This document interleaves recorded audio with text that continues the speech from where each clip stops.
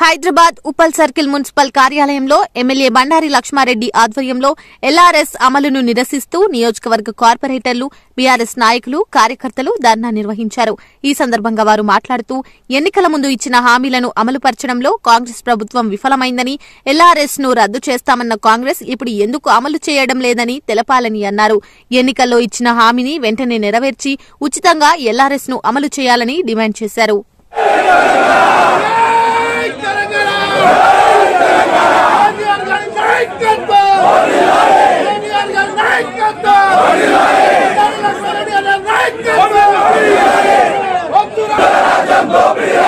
Göndereceğim,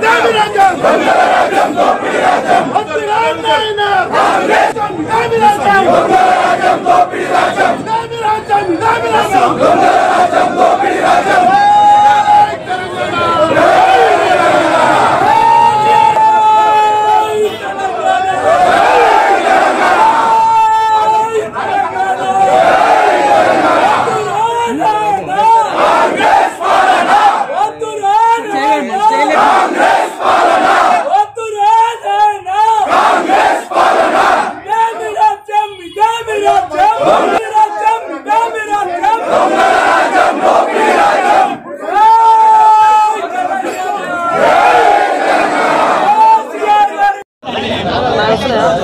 మాట్లాడాలా? ఈరోజు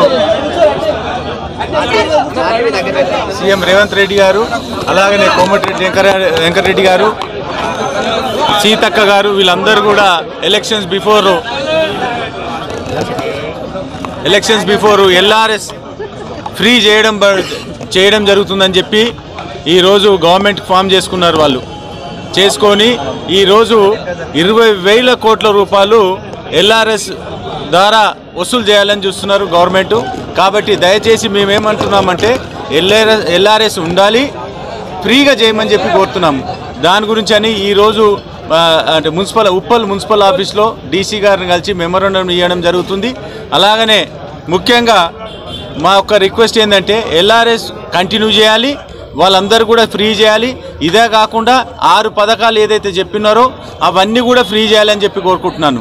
అలాగనే ఏదైతే ఫోర్ ట్వంటీ ఏవైతే మీరు ఇచ్చిన్నారో అవన్నీ కూడా ఫిల్ఫిల్ చేయాలి. చాలా మటుకు రేషన్ కార్డులు లేకుండా జనాలందరూ కూడా బాధపడుతున్నారు. అలాగనే మెయిన్ ముఖ్యంగా దళిత దళిత బంధు కానీ ఇట్లాంటివన్నీ అప్పుడు ఆ రోజులలో ఎవరికైతే శాంక్షన్ అయినాయో అవన్నీ కూడా క్లియర్ చేయమని చెప్పి కోరుకుంటున్నాను నేను.